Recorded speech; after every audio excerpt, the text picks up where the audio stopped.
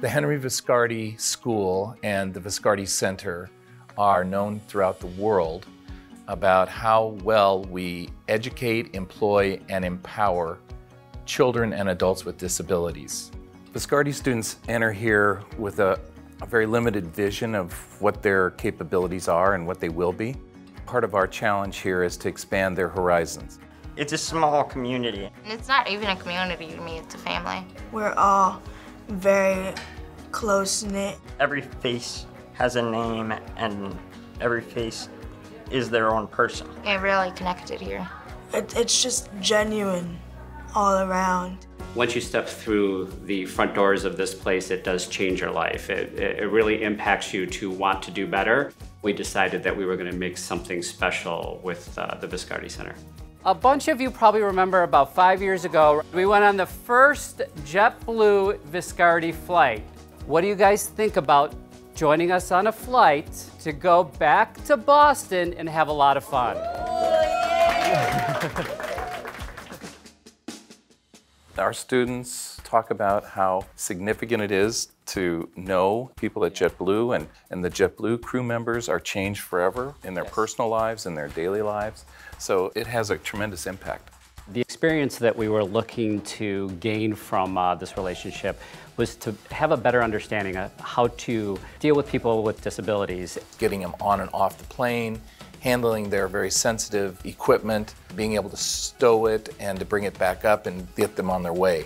What we do is we bring these students to Boston. We have a day of fun planned for them where they join us at the New England Aquarium and then we go back and we have some more fun.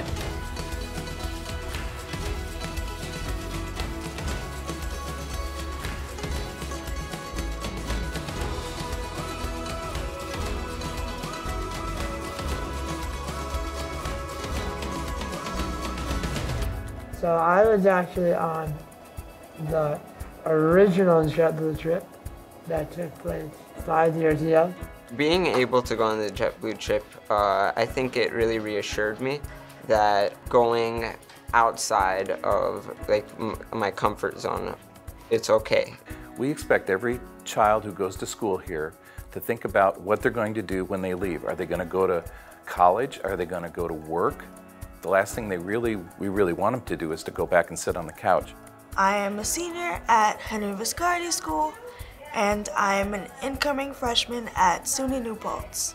Next year, I'm going to be attending Hofstra University, and I will, uh, I'm going to be studying computer science. I'm going to study speech-language pathology. Honestly, the school has helped me figure it out. They can do a lot from wherever their vantage point is. And one of the great things is they get to see JetBlue as a real professional team of people.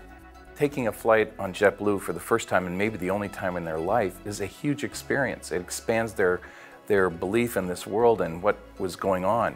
What you learn from these students is you do not feel sorry for them. They have taught our uh, many JetBlue crew members may have some differences, but I'm just like you. And, and I think that's so important because it's what we as adults think we know, when in reality we don't.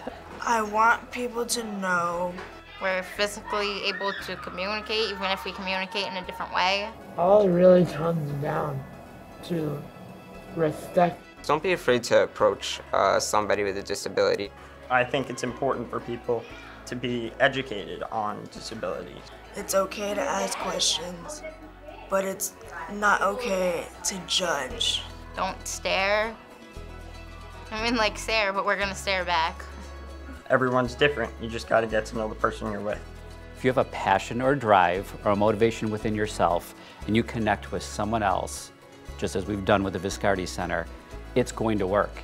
I think it's important that people know, don't sit back, you can make a difference, don't be afraid to make that difference, because if you don't, someone else will.